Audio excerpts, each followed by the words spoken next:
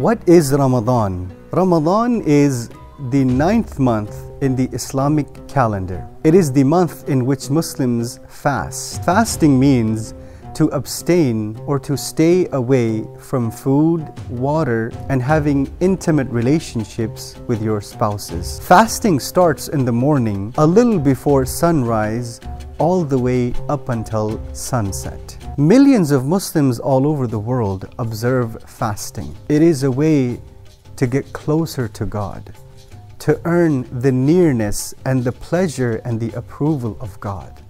God Almighty says in the Quran, in chapter number 2, Surah Al Baqarah, verse number 183, يا أيها الذين آمنوا كتب عليكم الصيام كما كتب على الذين من قبلكم لعلكم تتقون O you who believe, fasting is prescribed for you as it was prescribed for those who were before you so that you may attain taqwa. Fasting is not a new practice. Fasting is not a new ritual. In fact, the Quran tells us that fasting is a ritual or a practice or an act of worship that is found in many nations of the previous people. Many prophets and messengers, such as Prophet Abraham, Jesus, Moses, and all of the other prophets that are mentioned in the Quran, have observed fasting and encouraged their followers to fast though their fasting may be slightly different.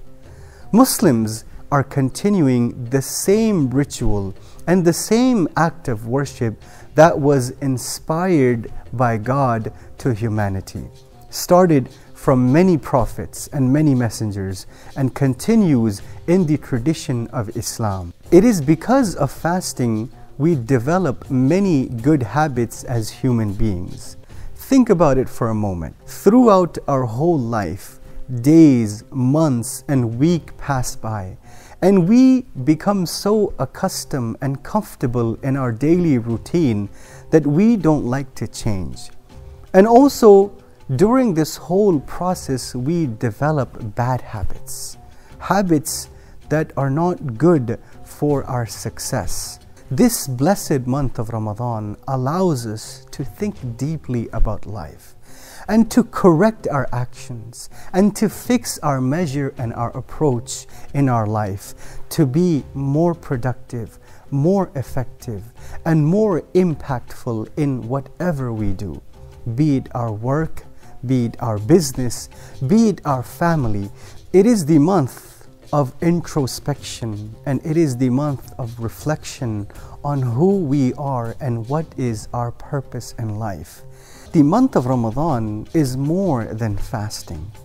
It is the month of Quran, the holy book that was revealed to humanity for their guidance. It is the month of prayer.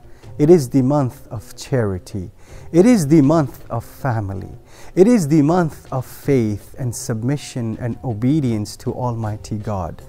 And in this year of Ramadan, we pray to Almighty God to accept the worship and the prayer of Muslims all over the world. In this Ramadan, we pray to Almighty God to accept the prayer and the fasting of Muslims all over the world. In this Ramadan, we ask Almighty to allow us to fix and to correct our path, our purpose, and our standing in life. In this Ramadan, we ask Almighty God to allow us to understand and to feel the pain of those who are poor, needy, and less fortunate in every part of the world. In this Ramadan, I ask you to join in with us in the spirit of Ramadan and in the spirit of fasting and give back to your community and to your society. Thank you. Assalamu alaikum ورحمة الله وبركاته.